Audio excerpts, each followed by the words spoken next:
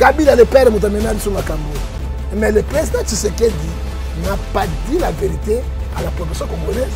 eloko eyaki nécessaire yaki libala te libala esi ebebaki nango mama mm. eh? le pays est sous occupé désormais en tant que chef de l'état tozwa pays na biso na maboko levons nous tolibere mboka tongo tobeta yango mais discours oyo nyonso banda na ebandeli na suka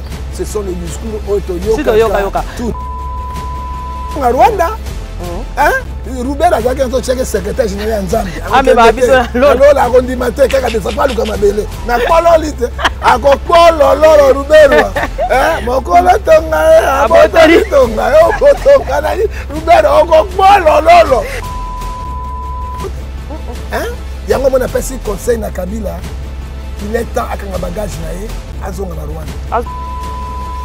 ye kabila bimaka te mais moi je risque kabila parce que akomerite kozwa consort ya mobutu nalobi bakowangana bashadari bango tout bakowangana ye c'est le moment akanga bikisaka na ye na bolingo ya nzambe azonga molive amapa na rwanda anopemisa na nzoto soki te mabe ezali bazoluka bakanga kabila basambwisa ye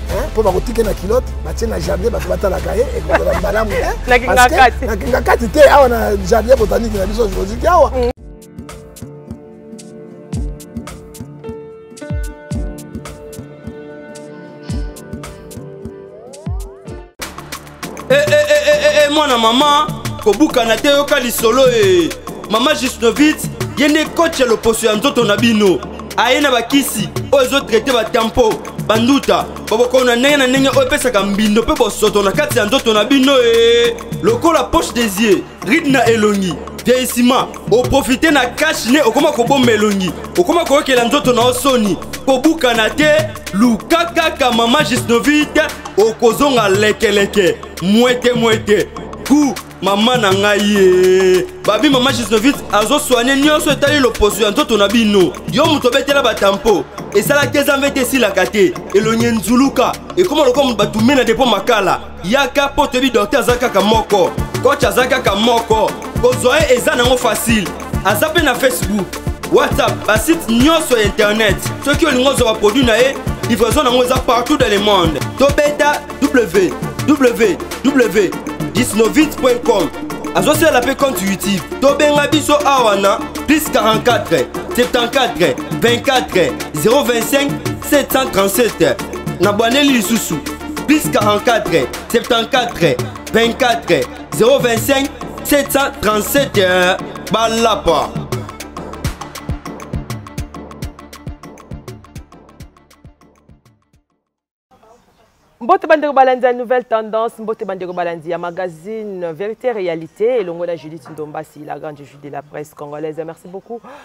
na confiance merci beaucoup aussi na fidélité bopesaka biso awa na nouvelle tendance merci beaucoup na baabonné nyonso baoyo mpe na bosabonne te na nouvelle tendance bosabonne massivement awa na nouvelle tendance parce que na émission vérité réalité eza epai wapi tobetaka émission politique tobetaka émission ya bapasteur ya baémission nyonso oyo elekaka na république démocratique du congo nde bokutaka yango awa na vérité et réalité na nouvelle tendance merci beaucoup na confiance merci beaucoup aussi na fidélité et na ba remarque bopesaka biso na baémission tosalaka boza kopesa biso ba remarque epai toza kobunga bozozongisa biso na nzela merci beaucoup na bino mpe bato ya kofinga merci beaucoup parce que mwa kofinga wana esalaka ete tobongisaka mwa malembe malembe baerreur yango toza kaka kobongisa ata boza kofinga me toza uh, kobongisa merci beaucoup aya janisita le gourou du temple merci beaucoup uh, ya dondomba le parrain pourquoi pas ya josh ongani moto moko bien merci beaucoup à toi mon vieux merci beaucoup na évangéliste siwa siwa mbanza depuis états-unis merci beaucoup à toi évangéliste kalate tozo zelo awa ah, na kin ndenge olakaki biso pourquoi pas osepa ya évangéliste jérémia amadiata kuna na montréal oyo euh, évangéliste alobi bientôt église sute de l'éternel eza déjà kobandaka bana nzambe nyonso bozalaka wana mpona kokutanaka kosambelaka eza malamu mingi kosanganaka kobelelaka nzambe na baproblème sesa makambo na biso nyonso ça veut dire que église mo cité de l'éternel na montréal bientôt eza ah, kobanda merci beaucoup na fidélité merci beaucoup na confiance eh, maître lola de bruxelles merci beaucoup epai wapi boza ebele ya kolanda biso mpasi na bando ntanga bakombo tokolala wana bakombo na kati ya émission ya biso vérité réalité toyambi lisusu prophète ya mboka na nga oyo azalaka wana mpo na kolobelaka mboka azalaka wana epai amoni makambo eza kosimba te alobaka mpo na ye abangaka motu te sauf ka nzambe oyo abenga ye azala prophète ezala na ngambo ya politike ezala na ngambo ya, ya mosala na ye moko asalaka azalaka wana alobela yango kaka mais abi aregretala bato nyonso bofingaka ye ça veut dire ye akolemba nokoloba te ata baremaka oyo botya nso ndeni botuni aza prophète ou pas donc mpo na ye akobandaka nde kaka kolobaka makambo etali mboka ne jusqu'à siècle akomona mboka échange euh, mbote mwana mboka prophète john ngefa prophète ya mboka na ngai mbote mama judith ndomba sikolo azwa lokumu soki tozomona makambo ezoleka na mboka te role ya profeti na mboka azali lokola eclairer tokende makomi na nzambe elobi na ezekiel euh, verset 33 7 azali sentinelle mpo na kokengela mpe na koloba mpe na kozongisa bato na nzela role un prophète celui qui donne l'ordre dans l'église dans, dans le pays ouais. etambola conformément oyo nzambe azoloba tobanda kobondela mpo tokota na losambo tata natiki émission na maboko na yo natiki toujours badiaspora oyo maladi ezali kotomboka lisusu makasi ya coronavirus eza temps de la fin kolo obatela bango osunga bango oepargne bango na maladi oyo mpo ete bango babokolaka biso balesaka biso mpe basungaka biso sikoyo na kati ya este mpo na trouble kolo obatela milimo na bango bazela enlèvement mpe koyala biso na nkombo te mpo akosubela mpo azanga mayele losako prophète batelemi lokola bato bosusu ntaba imboko mpe bee losako prophète balongolaka nyoka miyoyo te losako prophète basaka likopa na ndoki te akolia yo losako prophète basulaka nzambe te po ye moko nde asungaka biso napesa ya suka losako prophète nde mokonzi merci beaucoup à toi prophète merci beaucoup aussi na papa jean marie ekofo alobaki napesa yo mbote asepelaka na baémission ndenge osalaka alobi oza le sel mpo na ye papa jean marie et papa jean marie non aza pasteur te mais aza diaspora alobi na mpo na ngai namonaka kaka prophète ngefa nde alobelaka mboka par rapport ya baprophète nyonso non par rapport ya prophète nyonso te wana ye nalobika oyo alobaki nzambe apambola yo papa jean marie eh, ekoko ezali ye moko te plus ye balobaka me baprofesseur université na kati na france oyo basanganaka Vraiment, là, c'est pas ça, on a professeur, on a pas un boulot, lobby. Euh, tu es un homme de Dieu, mais tu as la capacité d'un professeur d'université. Ouais. Hein? Na John, si professeur, na sali science politique, était, na sali eloko moko te, mais ngai na sali eschatologie, puis na sali eh, eschatologie, et puis na sali sur anthropologie.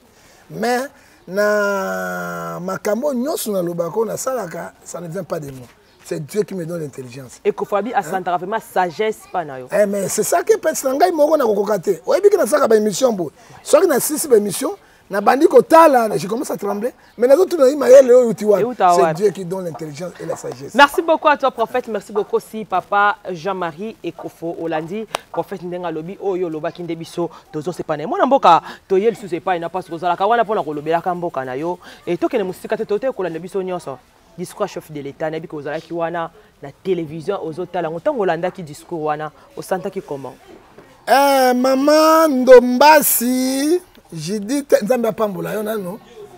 na 5 saki ya nsima na yo oyo opesaki na église merci na 4 tole na yo magio ya journaliste boza misato ndombasi nazali koloba yo parce que osambelaka jérémi lwemba mm. eh, neymar eh, c'est na trois journaliste bango parce que église yango bamvula ebeti nayebi te se kwei déjà lisusu parce que totemisika otemisa boye bato ya mitema malamu basunga mpo na loboko na nzambe esala mebelela bato bazokobataakoya te me bato bakoso escroke bino kaka pa bobimisa yibaki boye azalaki boyepaboye alors la ya badistraction mm. oyo nyonso bapromettre na mitema malamu otia lisungi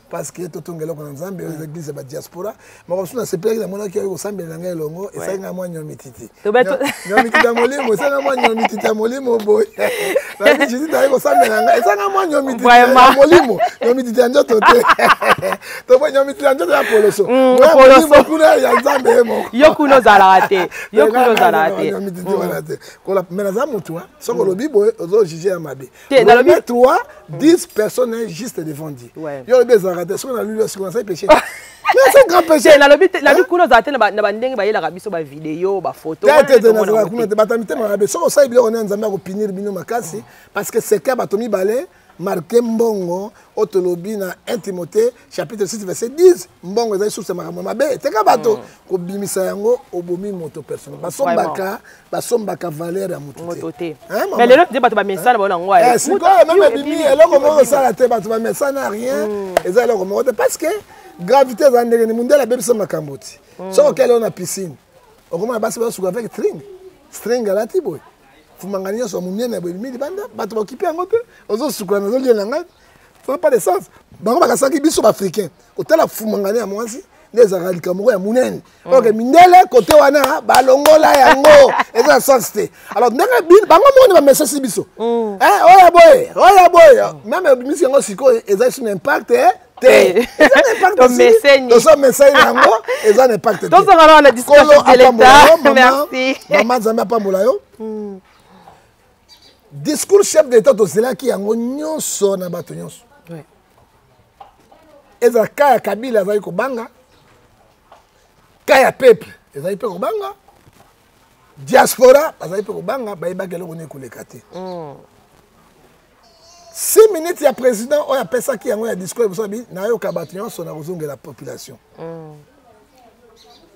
eloko chef d'état alobi eza na discours eloko ya sika ata moko eza te c'est presque tous les chefs d'état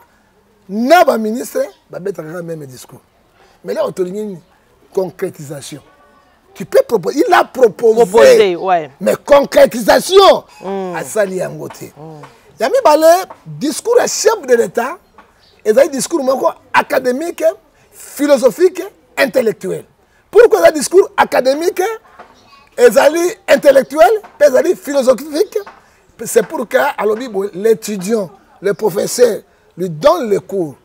pour la recherche c'est mm. l'étudiant qui fait la recherche mm. alobi apesi cours mais concrétisation mot d'ordre nini apesi na peuple lamuka tellement le pays est occupé alobi yango te mm.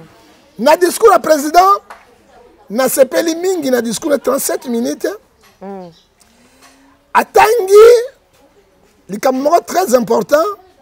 mpo na libala oyo abomi yango mais mobali oyo azabomaka libala il faut se préparer parce qu'il faut ke bamwasi awela ya retour ou bien moto osawela ya retour nango libala oyo biso tu tondimaki yango ekufa parce que eblokaki fcc est ce que parlement ekei est ce que primature ekei est ce que oyo peuple eze kozila esalemi tosuki wana mais aoke male male mama zela ngai mm. nous savons en afrique comment les chefs d'état apesaka ba bon discours nalobi na lisusu discours moko ezali académique discours moko ezali intellectuel mpe ezali philosophique mm. ozo comprendre yango nazonga lisusu le professeur donne les matières mais celui qui fait la recherche ce sont les étudiants ozomona mm. eza deux poids deux mesures apesi bareponse oyo bacongolais oyo balingi beyano te reponse ya liboso alobi likambo ya esnel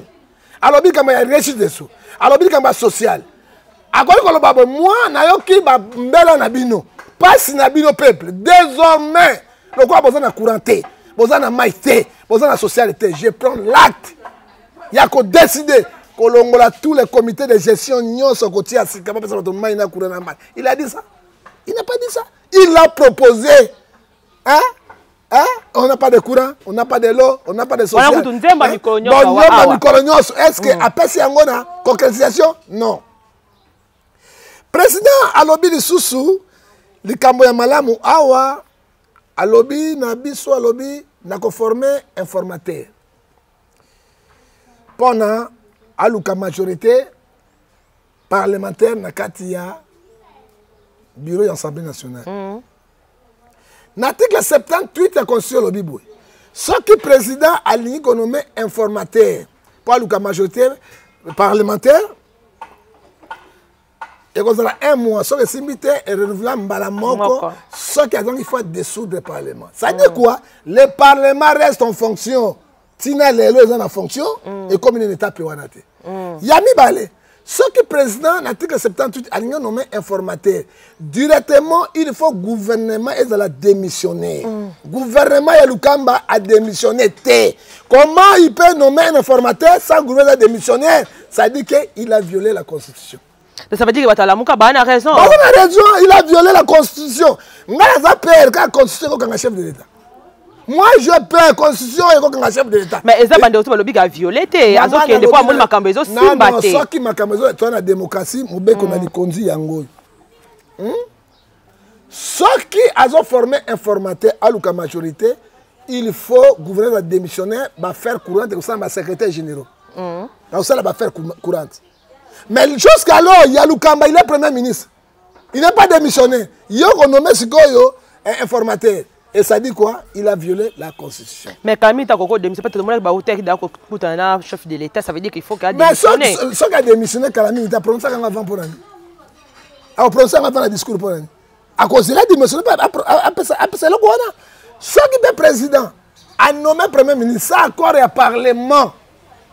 bato bacomprendre bato bazoyeba makambo ezoleka na mboka oyo te constitution oyo eyokanga bato ebele soki président wa bazokana te ndenge olobi bazokana te maintenant le président prend la décision lokola bazokana te makambo ezotambola te anome premier ministre na lolenge na ye il a violé aussi la constitution po constitution alobi boye bato bazalaka majorité parlementaire nde premier ministre abimaka wana mm. bato bazalaka majorité parlementaire nde président ya, parle, ya, se, ya parlement na sénat babimaka wana oka président azwi kaka boye moi je non premier ministre il a violé la constitution mais soki amoni makambo ezosimba te libala yango asalaki amoni ke ezosimba te akoki te kena koluka en tant que garant de la nation aluka lolenge mosusu mpo asepelisa population mais constitution epesi biso nzela nyonso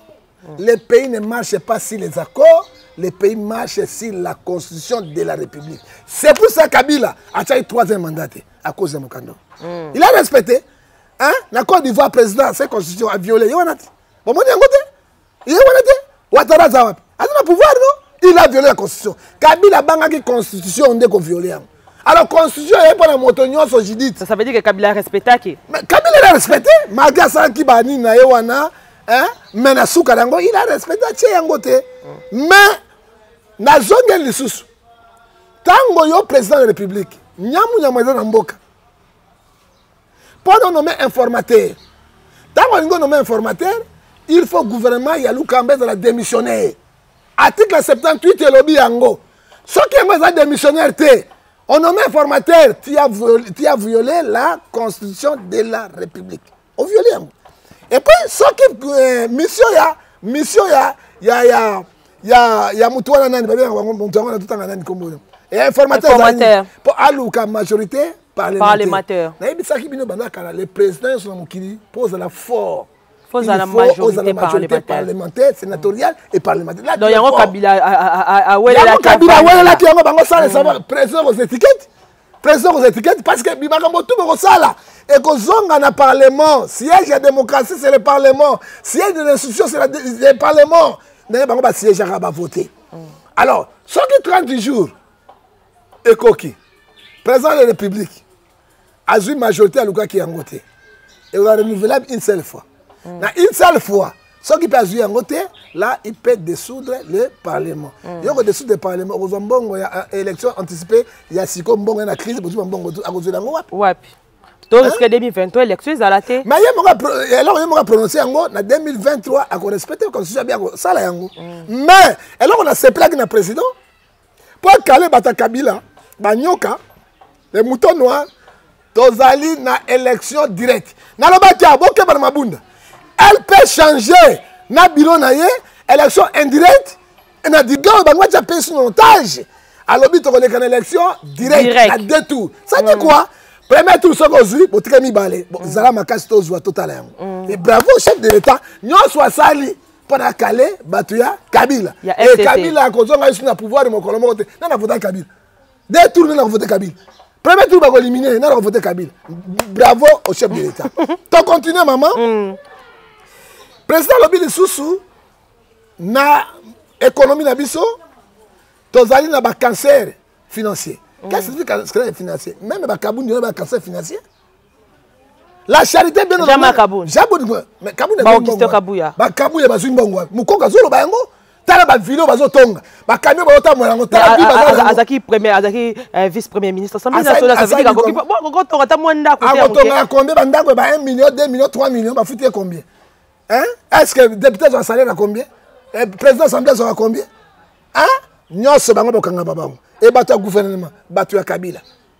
oyo bato bazwi bambongo bango to bakontinue be kozwa 680 000 dollars kabila azwaka yango sans travail e président français américain ozwa 36 000 dollars par mois mbongo yango yokende wapi ozanga mbongo président alobi yango ya misato président aloba mpo na babourse azongisa babourse na ba euh, enseignement primaire secondaire euh, enseignement primaire euh, ofele mm, nga ntango na ntango mobutu enseignement ezalaki gratuitement bazoka biso bakaye balivre na basango biloko to ezalaki gratuitement na ntango ya mobutu moi jete ntango mobutu étudiant azalaki lokola un grand fonctionnaire ana bourse na ye ana mwasi na bana mm. azotangisa bana na campus nazalaki na ntango ya mobutu baki na bopito na bango ya baétudiant baprofesseur no parle même pas étudiant baki na babisi na bango ezotambola kati na bango mboka ekufi ya zero mais yango alinga tonga ti akotonga nalobi ye alobi yango mais tozaba yango azo apropose yango apropose tobongisa eza na manda oyo te na oyo te eza manda oyo te akosala biloko oyo manda okeyi na suka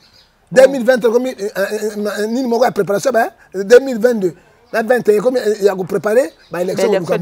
akosala yango ndenge nini ozomona eza badiscours na bango oyo bapesaka me bakokisaka yango te mm. ya misato abili accord ya mbudi accord ya mbudi eza na 2004 bokoki no kabila atekaki yango bokoki kopesa yango te siko na ntango ya kozwa mbongo wapi oyo ya kosala bakora mbudi abakisa basalaire wana eputa le pays eza na kao ozokoba mama alors nous ne refusons pas apesi discours na ezali malamu mingi eloko esepeli na discours mosusu nini akamati 4 langue oyo alobi yango lingala kiswahili kikongo chiluba na français mm. bravo ezolakisa ete tshisekedi mwana ya congolais ya mm. solo me kabila 20 ans ata moko nayoka lingala bakaka momemi maki abokaka maki te kaka yango moko ezolakisa il n'est pas congolais il faut dire la vérité tokobangela bango te wana ça veut dire que yo confirme que kabila non non il n'est pas congolais parce que yoka chinois ya simo ayebi lingala Quel était qui 6 mois. Oh mami Kakonde, oyebi eh, chinois, mais so chinois na so abi lingala bokamwe. Comment bino bopani na mboka ya batu ti 20 ans bozo ko lingala te. Mais président il a fait ça expressément. Pour alakisa bato nyonso ya mokili monde mobimba ke moi je suis un congolais. Aza vrai congolais. Je suis un vrai congolais. Alobi lingala, Kiswahili, Chiluba, na français na monoko mosusu nini kikongo ça de quoi nous applaudissions nakanisi mobutu nakanisi mobutu mobutu aza koloba balangi wana nyonso mpo azalaki mwana mboka ozomona eloko nasepelaki na président yango wana le président a tout parle mais azangi eloko peuple elingaki na ye koloba boye mpe suka na ngai yango wana mm. le pays sous occupé Ce que Kabila le père a dit. J'ai amené les Rwandais, les Ougandais, les Rwandais, les Burundais. Il veut me tuer. Il veut prendre le pays en otage. Congolais lève totelemaki bomoni makambo elekaki awa. Mm. Pendant 36 minutes ya président a touché teke pays ezali na sous occupation. Et pays soki eza na sous occupation. Est-ce que yobi mama Judith? Ata osola na mwana ya motetino libanda. oyebi ke bacontra yango na rwanda receveur central ya biso tout ezala ezalaka na rwanda na burundi est ce que oyebaka yango tout le liso tosololaka na telefone mm. receveur central c'est rwanda hein? tomonaki setele na bango ezalaki awa euh, gsm hein? oyo ezalaki na oyo ekende na rwanda bakontrolaka bapele nyonso na bapoliticien mais bakangaka bato akimi akimi wapi se rwanda apesaka na gps te ça vient du rwanda donc ça montre quoi kabila le père moto amemea biso makambo oyo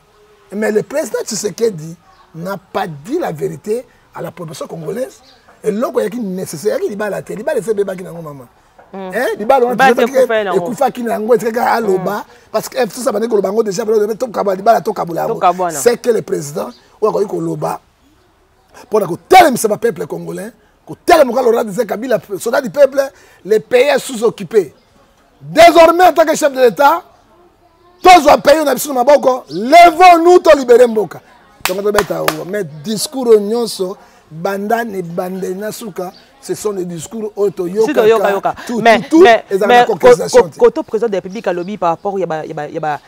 ya ba, ya ba ministère na biso et koto wana comment otrouve yango ya kolongola misusu parce oyo mpe elelisaki biso mwa mikolo euti koleka a ah, tolelaki mpo na baministère mosusu mama judite eh, naloba ngefa aloba eloko oyo bandaka mm. bondimaki simon kimbango mpo soki akufa nde bondimi ye soki simon kimbango azalaki vivant moye bondima ye eh, eza te sekoa mm. biso bangefa nalobaki role nini ruberu wa ministère ya décentralisation ministère ya décentralisation donc ye azali mokonzi après premier ministre aza kodecentralise nyonso république mais role ya ministre intérieur yango président azongisi yango nabomi ministre wana ezonga ministre intérieur na redi nombre ya baministre mosusu bravo chef de l'état mosala kobewa esili azonga rwanda mm.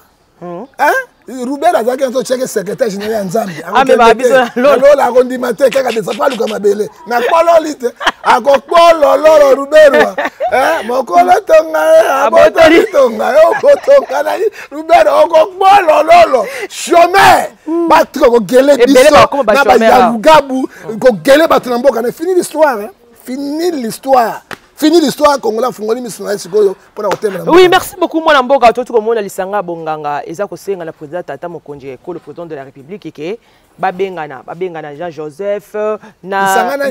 lisanga bonganga bonganga wapi lisanga bonganga oyo ya mongo wana ouais. Ah! bamongo bazosenga na président félix bazosenga na président mm. kabila bazosenga na, na, na, na, na président euh, euh, katumbi na bemba bakutana basolola balongola bakobendana wana yo trouve yango comment lisanga bonganga sont les gens qui cherchent la qui cherchent les fonctions balingaki chômage balobi balingi kimia ya mbokabazosantike tozokende déjà mabe babi fo eh, président kabila na président eh, félix mais sikoyo conciliation asalaki ya nini soki bangi bakotela dialogue hein papa non non non oyebi moto nyonso nécessaire na kati ya mboka hmm. est ce que oyoki mbele ya bashege basheke balobi boye je l'ai suivi lokola président mona na biso na valeur te nga toyi basheke président moto abimisa no libanda to bamama na bino na tata na bino oyebi kozala mokonzi ozoka mama ya ngulu salite tu ndima yango oyokia nalandi basheke o oh, makambo mosusu oyo koleka awa na triomphal tokotumba bapine oboma biso eza oh. président akoboma bango na sasini azwa vie sociale na bango non oh. vie sociale etaka baparent na république mais parent mpe fo bazala bien payé parents ne sont pas bien payés bakoma odebouye bango mokoezalabasmibali yango omoni mabe ekoti na bamboka a cause pay ezali nakobota bote kobota pampamba ya kosala mpo na kozanga mwana mwasi azangi mafuta azangi suki azangi meshi azangi mwa eloko akopakola na ye na moto apesa 5 dola sani akopesa yango 3000 francs 2000 francs 2000 francs ah, ata 1000 francs mwa likembesi mwa likiki azwi se mesili ils sont fous de ça parce que nini l'état abomi social l'état abomi makambo role ya l'état apesi badiaspora mpasi hein diaspora bako pema bo 3 mois atindaka ta franc te eza inutile mboka ah moto akufi ye moto azobela ye nazosala boye bakosala badega mosusu bakosala te à cause ya bisengasenga leta akufa poto eza na social poto evandisa social okovanda lelo bosalaka te mai 800 euro ezobima 1000 euro ezobima ofuteli ndako ofuteli nini mpe ovandi na yo te okobonga to osali mosala boye te soki mosala ekatani babandi kofuta na mbongo no obandi kosala ozo komona yango omoni badege eza te mais afrique les pays les plus puissants riches du monde et les populations sont dans la misère ça dit quoi bato ozali na afrique toza na mal science ya badirigeant il vient au pouvoir pour recueillir mpo na kozwa kobotola bafamille bongo mpo na souci ya mm. peuple te mm. ozomona ezali mawa mingi le seul président oyo asali makambo na afrique c'était kadafi na libi mais baboyi kadafi lelo libi ekoma wapi kadafi ezalaki baétudiant baye boye komanifeste baétudiant place otya parking ya voiture eza te étudiant totonga mbongo lokola fonctionnaire étudiant akosila classe na tike na barecherche na ye azosala barecherche na ye mais ana besoin kosala mosala te parce que azotouche meme mbongo ke fonctionnaire de l'état na baétude na ye c'était kadafi lelo bino bobomi kadafi botiki barabasi lelo libi eza wapi lelo libi eza wapi na biso na congo tozwi chance wana te mpe de chance ezalaki na mobutu parce que mobutu ayebaki valeur ya baétudiant mobutu paye les étudiants il les donnait les bourses asalaki biloko nyonso ya spéciale na kati na bango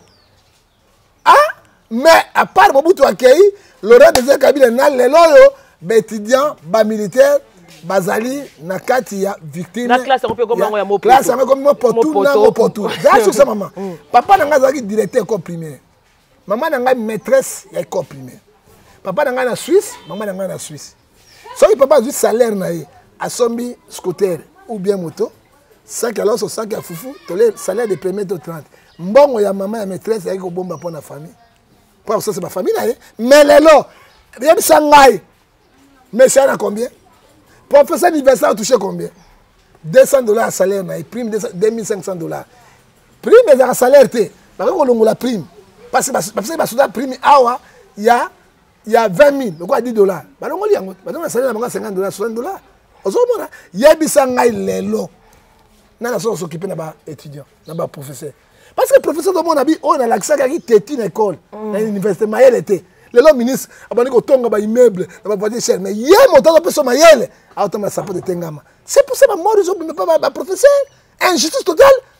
eh, na france na europe un professeur université akobanga ministre te ana mm. ministre même salaire akolukela akoma ministre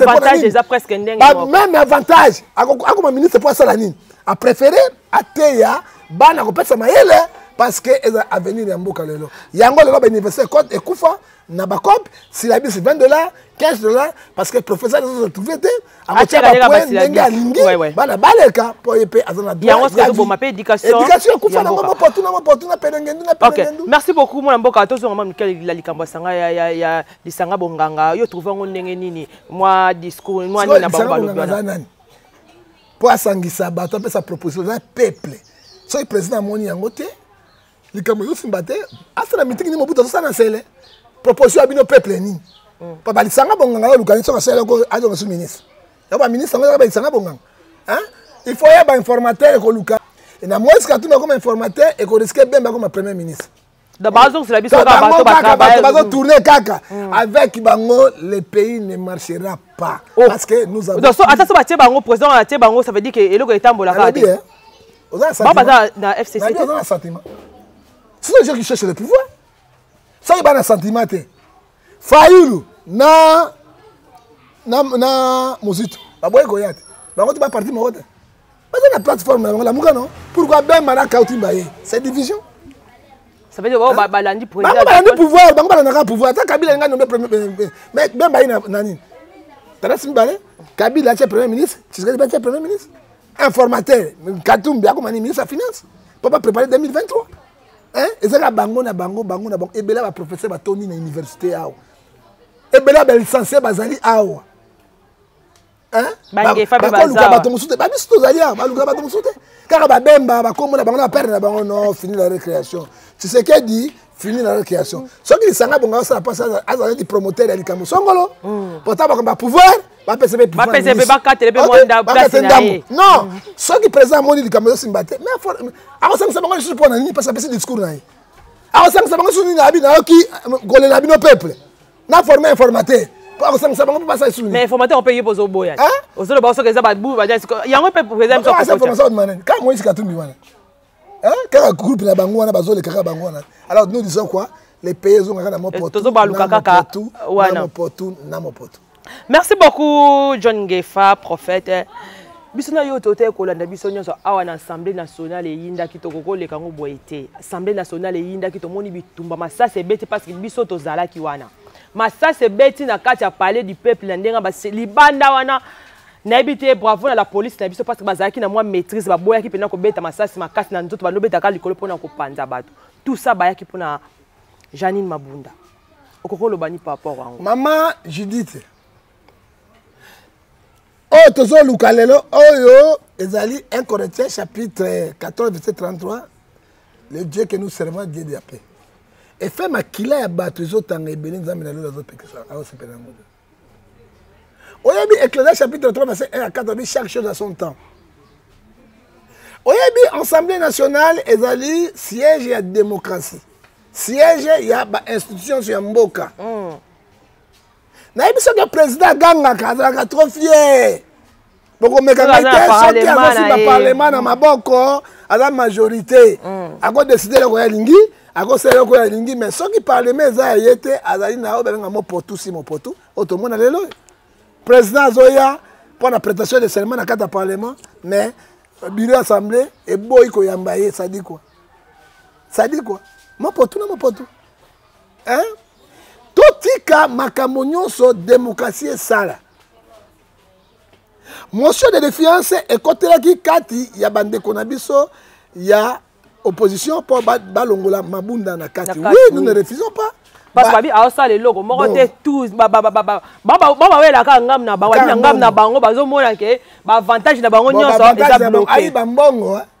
ya bino tshisekedi bazokana te sikoyo akozwa mboka yango wapi eh? ya bino tshisekedi bazokana te mpo tshisekedi basi mibiki na ye ape na injonction na ye mhm. il faut mpe akale bango ko bakale il faut akale bango mhm. ozomona tokende na logike ya makambo mama jididi ntango bapesi motion na bango ya défiance ekoti na bureau erecevoir yango bakokende na lecture ya likambo na bango suka na yango bakokende na vote soki mabunda akwei balongoli ye na bino na ye mais soki mabunda aleki atikali il reste il reste parce que bino bozokana motion bozoka eza pamba parce que bango baza na majorité parlementaire mabunda akoya te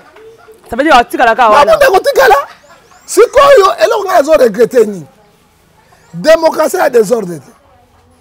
komona parti politique moko ya idps bazua 450 ethnie na en otage je n'ai jamais vu dans le monde ata kabila yango ayaki na pouvoir nde tomonaki eh, eh, pprd asalaki makambo oyo te jean pierre bemba akangi ye complicité ya kabila awa tomonaki eh, mnc etambola esali badesordre te kamere oyo na prison asala na makila lelo na moni mnc te mais je n'arrive pas un parti oyo président abimi epai na bino un parti moko ya ba je marque même le terme qui voyou kuta eza bien oyo tobenga bamercenaire baya na palais du peuple atake qui bakoya wana bakanga mabunda beta mabunda atake ki na bino moko mpo balingi ye te no balobi ke alongwa azosala eloko te ezali akobengisa badepute na likambo mama judith yoka ngai ezali bango bakolongwa mabunda te mm. ezali bato oyo biso tovota bango na depute nde bakolongwa mabunda ça c'est la désordre totale ozokamaka na idps me tomonaki meme na kati kuna na kati kuna bitumba kopanza biloko bato bazopanza biloko tozoluka totonga mais bino moko lisusu batata mikolo lokola bino bamama mikolo lokola bino boza kopanza bakisi ezali jean marc kabundi oh? ngai namoni ye moko azwi kiti abandi kobuka yango kosala desordre jean marc kabundi azosala vengeance lokola balongolaki premier, premier vice président ya assemblée nationale na bopete me akolongwa ya majorité te mpo jean marc akoma wana batafsese nde batye ye te babango ba majorité bavote bavote ye okoyebaki bazomona mouton noir baboyi ye akwei me ye akolongola biro na makasi na ye sa toboyi desordre toboyi makila etanga toboyi bamort subite article 12 ya constitution elobi tout congolais sont ego devant la loi oyo bajean mark bazosala mpo tshisekedi na pouvoir bazosunga tshisekedi te kote ya tshisekedi ezokweya butu na moi na 2020 moto ya bato aza bien ana makanisi ya bien a cause ya idps bakosala eloko te soki bameki yango l'état mpe la force reste à la loi hein? force reste à la loi oyo oh, bazosala wana eza malamu te donald trump alongwaki mpo na mort immigré moko e donald trump abomaki noire wana te blande babomi noire wana mpo azangaki kondimela noire wana il faut akondanaka akondanaki yango te donald trump alongwe mbongo donald trump aza na yango eza ni kabila ni tisekedi baya na yango te Donald Trump abotami na famille milliardaire de milliardaire de milliards de milliards de milliards avion ya Donald Trump atambolaka na yango eleki force américaine wana malamu ndako ya Donald Trump avandaka yango na États-Unis na Washington eleki Maison Blanche hein? eleki Maison Blanche hein? Donald Trump ntango mai président te azali kotamba na eh, eh, nini na likolo hein? biro na se te aotambola tititi pokwa ye bakitisi ye bakiti ye eh, ntongo amati na avion te bakitisi alaki na nyonso par rapport na Maison Blanche hein eloko nde akangami na maison blanche mpo na autorité na pouvoir ewa mais mpo na mbongo te mais biso baafricain tokɔtaka mpo na koyiba kobotola tout cela jean marc azosala ndenge wana kobuka na regrete bakangi meme babomi bamwinda mpo bakimisa biro ya mabunda hein mais bango abosanaka soki terroriste azalaki wana akoboma na bango bango bato opposition akoboma bato nyonso na molili bazalaki déjà en danger mboka etambola na mopotu mboka etambola ba influence ya boye mboka etambolaka boye je n'ai jamais vu mboka moko na mokili na ba désordre tozoboya un parti politique et président ne, ne dit rien mais conséquence ekotombe na si président conséquence oyo bazosala bango jean marc a ah, mouton noir mokonzi mosusu akoya lobi akobaluka akobaluka akota kuna akosundoli de pese parce que ye moko deja se parti na ye il faut koyeba asala partenaire depuis quand ezo fonctionne oh. eh? alors batele batele makambo nous condamnons nous cherchons la paix to détruire yango eza asali nini un député national il n'est pas mercenaire mercenaire atongaka te ayaka nde kodemolir mpe kodétruire mais mokolo mboka nde atongaka yo osolobaawa oyo tozoluka kotonga bino soki bozo kopanza yango eh, bakiti kobuka yango alors nous condamnons les tels actes oyo ya ba jean marc bazosala ezali kondurci pouvoir ya chef de l'état mais majorité yango bozoluka yango na parlement ekozalaka boye nandimi te ke formateur akokokaka korenir majorité parlementaire avec babizali na bango boye hein secteri parlement eza kaka ya bango te parlement eza wana babikolo ebele ebele ezali mpe bato mosusu eza badepute baka fidele na kabila te lelo bazaka mm. fidele na kabila ti lelo a ah, totala likambo esika ekosalema ntango ya koluka kodesourde parlement akoviole constitution mpo na nini bapesi président prérogatif ya kodesoudre parlement au cas ya crise mm. entre parlement et le gouvernement là le président akosangisa bango mbala moko te trois fois mm. toluka kimia ndeko intérêt ya peuple soki ayoki yango te mm. troisième fois azwi ordonnance ya kodesoudre parlement mm. mais lelo conflit ezali entre parlement na gouvernement te conflit ezali entre présidence parlement gouvernement sénat Hmm. Donc, président n'a prérogative, il y a des sources de parlement, s'il fait ça, automatiquement mais, il a violé oh, la constitution. Et eh, nous ça oh yo FCC zo sal zo moi te ke bango nde baza ko tindi ka ete peuple inaka kaka Joseph Kabila. Est-ce que Joseph Kabila pena ko za lisusu na mot à dire na kata mboko na makambo nyonso fcc eza kosala moi adi ya sani ya gouverne 20 ans de pouvoir de 18 ans moi mosusu nini mais akoki mpe kozala wana akoki mpe kozala wana bajani mabundu baza wana ba bato mosusu baza na oyo aza kokamba bango nde baza kotitika kabila ke peuple ayinaka ye kabila alobaka est ce que oyoka makambo tu kabila alobi kabila ne parle pas il est tranquille boza boza agité mpo nani pouvoir na bino bosimbi yango kimia na ye azolobaka eloko moko te yango mona apesi conseil na kabila il est temps akanga bagage na ye azonga na rwanda azonga so na rwanda nde nimi azalaki avant nalobi azonga pourquoi ba présidence saso akendaki na france des ans ya lino obima nalobi na yo zela nano mboka ya nani sika oyo edodo santos ake na portugal kofanda ye kabila abimaka te mais moi je risque kabila parce que akomerite kozwa consort ya mobutu bato tu azalaki na bango bakeko bawanganaki kabila baoyo tu bawangani kabila bawangani mobutu nalobi bakowangana bashadari bango tu bakowangana ye sele momo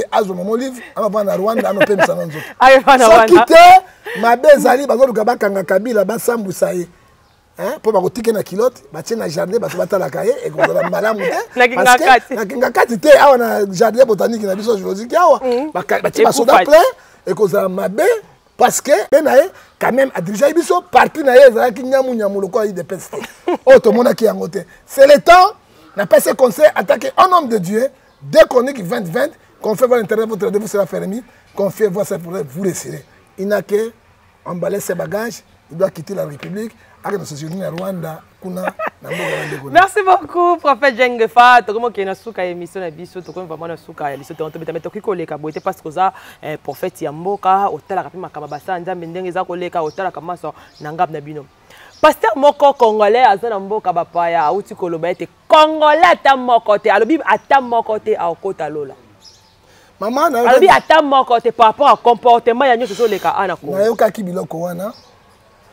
ete eswi bino te bokokota te nalingi lisusu kopesa lupemba te nalobi oyo nakoki koloba na bachaîne ya télévision surtout john gefa tv de ezolakisa ete azali ignorant oze 4 6 mon peuple peri bamai de connaissance moïse adefendaki mboka na ye bandeko na ye malgré azovanda na ndako ya roi nayebaki makila na ngai epuis lui le congolais bayebisaka bango ete moto akotala bokonzi ya nzambe te mpo na congolais congolais moyibi hmm. mandia farceur abi nyonso mabe eh, okuta wana kongo abini envahisseur nga atuni pasteur baenvahissaka mama na ye na tata na ye bandeko na ye je ne sais pas moi mpo na kokritike bandeko na yo bana na mpasi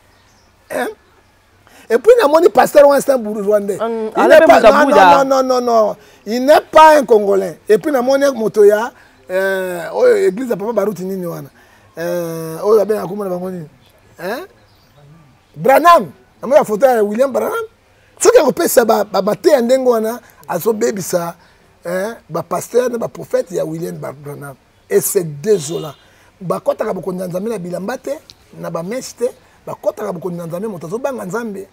azo eza na obéissance azali na sanctification hein? azali kotambola mpe na crainte de dieu na repentance sincère nde moto wana akokɔta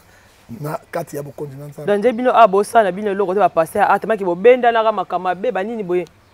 yango amoni ke na ngambo romain 14 verset 4 qui a-tu de juger mon serviteur ako juger motu te c'est le seul dieu azo juger soki omoni na chemise na yo kwa moto avandaka na maloika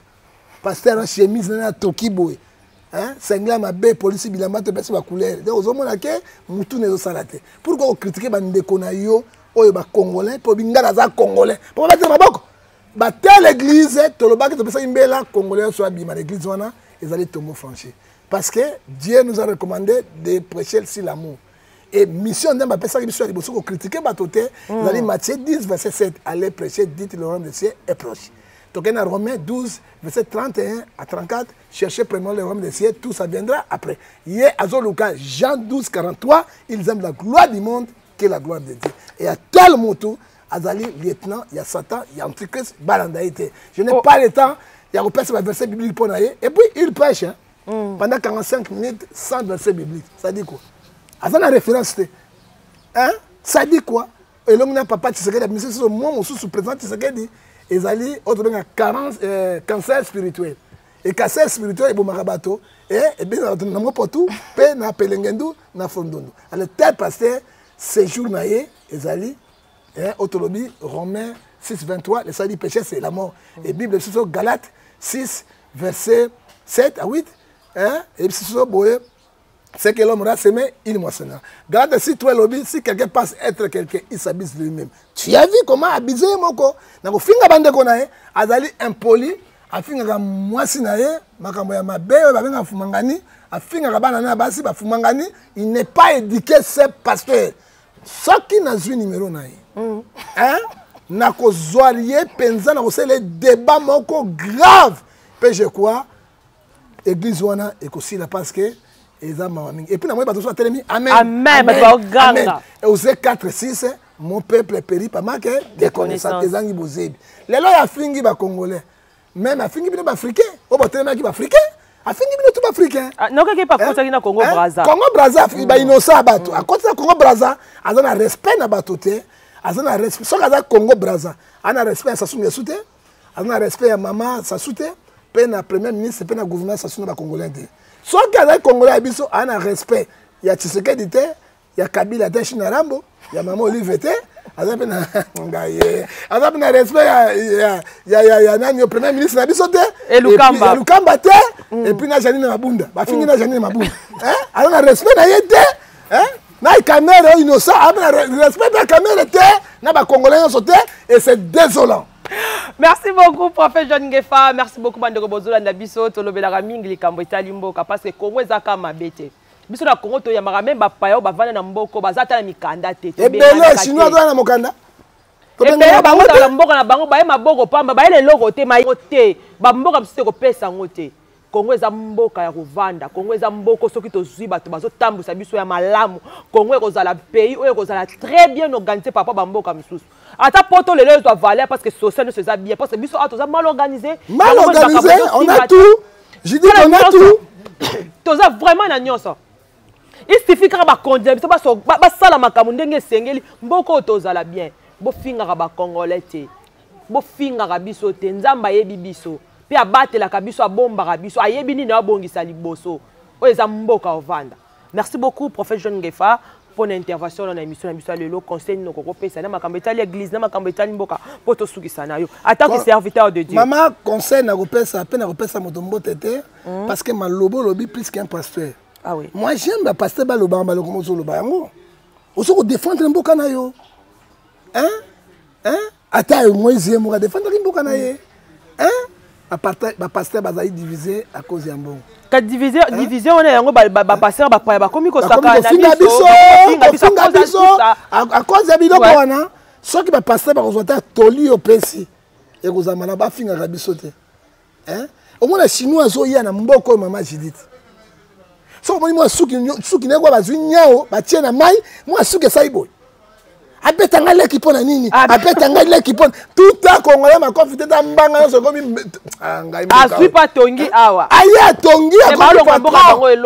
na mboka na bango eloko te lobilobi konyokola bakongolais nous sommes esclaves tolingi tshisekedi aloba ete tolongola bombo oyo kongo nyonso telema to défendre mboka conseil napesa biso tokabwana te tozala na bomoko mais ekolo moko mais le président tshisekedi dit non à la tribalisme mais tribalisme evandi kuna ye azopekisa tribalisme mais nani bamema tribalisme na mboka eza bandeko na ye bandeko bale eh, nani baboto biso batribalisme awa se na présidence kuna combien de conseiller so bato 300 400 bango na bango eza bango abanda nano kodemolire bango kuna kobimisa no bango asane mobutu abanda osala moto nyonso okokɔta mokongo mongala okomona administration ya présidence ekovanda dès ke azwi bandeko na ye c'est du tribalisme oyo alobi toboyi batribalisme tozomona baeffet so tshisekedi alobi likambo ole peuple congolais so esepela ezali bango babandi pawi oh. mais yo mwana mboka boye ndenge nini na bawewe yango makele na matoi eza gouverner alonga bawewe mosusu na nzela wewewewewewe alongola mosusu na nzela ça sert pas des autres mo inutile to ezali awa na balabala ata na mali ezalaka boye te ah ata na sénégal ezalaka boye te mm. pourquoi bango nyonso bazongi na kisasa hein? ba province ekufa babongisa ba province bato na bato bazonga ba mboka na bango hein? badeveloppe biso toyaki na mbandaka toyei na mvia oya kisasa te eloko toyebi na kinshasa lelo na ntongo ye na mbandaka mm. eloko tu ezali na kinshasa na mbandaka okoya kinshasa kosala nini lelo baboma baprovince nyonso nde totonda biso nyonso na kinshasa awa babongisa baprovince bato mosusu bazotya balingi mabe yago ekende nabangi eloko moko epesa ngai mpasi na motema je le dis je nalobaki yango na batelevision nazoya na voiture namoni wewa moko amemi ye alataki maske kashne bato amemi bale bana yango te nayi papa mobeko eza mpo na bato nyonso mobeko wana elobi ete motu nyonso alata kati mpo obangisa maladi mm. moto ya moto atelemi ya lungwawa tshisekedi apekisi makambo wana longwa makambo ya kala eh! tshisekedi azali garant de la nation aza kobatela bato na mibeko ya mboka soki bino ozoba tshisekedi alongoli omoni ke bozofunda président illégalement wani conséquence yango ekoya wana na wewa te ekozonga epai ya président de la république ndenge lelo ezongeli kabila omoni ya mama mm. ozomona soki omoni mpuku ya zamba akoti na ndako esobe ezeki nasuki wana napesa losako pesanga losako losako prophète mpuku aliaka ebende te merci beaucoup bandeko bolandi biso na john ngefa de télévision merci beaucoup aussi na bato bolandi biso na nouvelle tendance télévision na magazine vérité réalité awa ah, nde tosukisi émission na biso ya mokwa lelo tokozala wana mpo na kodefendre mboka na biso tina suka tina suka ezala mwasi eza mobali toza na droit ya koloba awa na mboko to tomo makambo ezosimba te tokobandaka kaka kolobatozopinga te me tozoloba donc motu moko ta koko uta mboka soki nini avanda liaka bambala asufaka na mboka oyo te atelemaka na chere oyo banaka kofinga kaka bato kaka boye tokotikelo tan te epuis na français bafrançais na ya mabe mabe wana azoloba nani bafrançais ya mabe mabe yo kuna aloba français so français ni biso a ah, lingala ka ya mboka na biso président de la république alobaki epuis mamamamamamamama tosukisa eloko ekamwisi ngai nini cotation tisekedi azwi mpo na nini alobi 4 langue nationale mais ye azoloba si le pasteur congolais de congo il vient ici en europe il prêche en lingala mais papa chinois autaka na poto aya koteya yani un anglais autaka kuna états-unis ateyaka yani ezali bagage d'infériorité hein hein soki olobi français misi bato bokonzi ya likolo mais ngai nazongisaki monsieur le pasteur suivez moi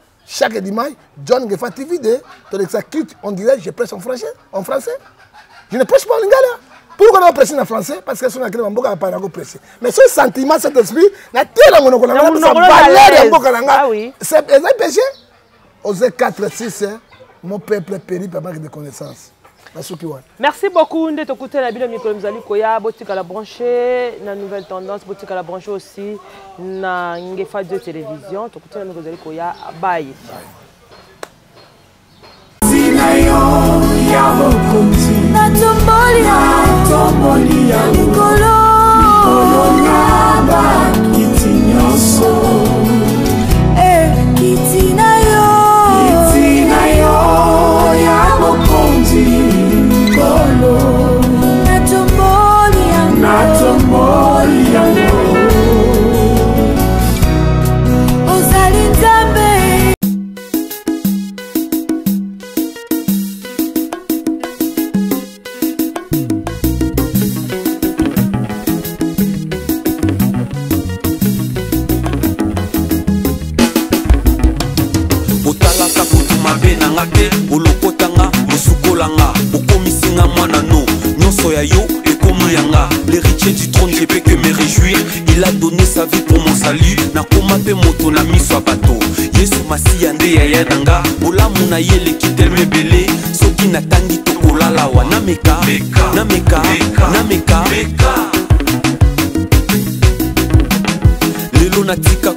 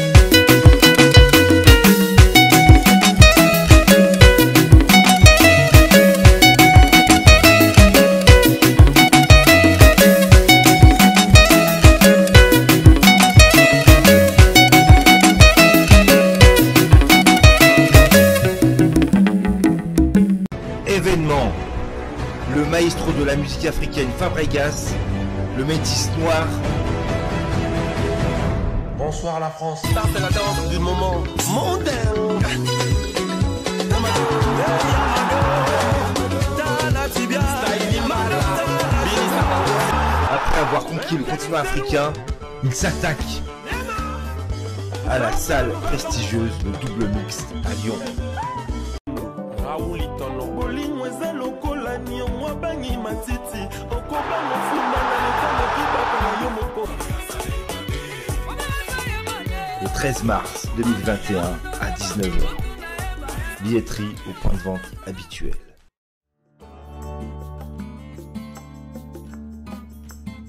Chers frères et sœurs, restez chez soi autant possible.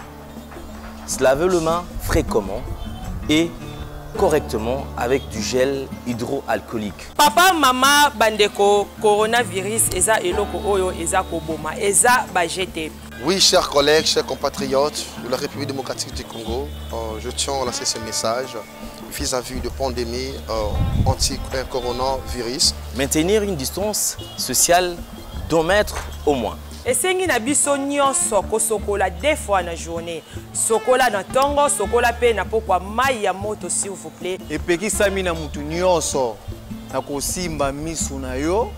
pe zolo na yo pe munoko. Utiliser le mouchoir à usage unique. esengi na biso lisusu ete kolata bagant soki omoni basectome oyo bazali kolobela ezali na nzoto na yo kima bombango penepene na hopital oyo ezali pembeni na bino Mpo na koevite makambo nyonso wana, salela tomibatela tomibatela coronavirus eza koboma j'accepte ces mesures j'accepte ngai ndeko na bino nandimi kosalela mibeko nandimi kotosa mibeko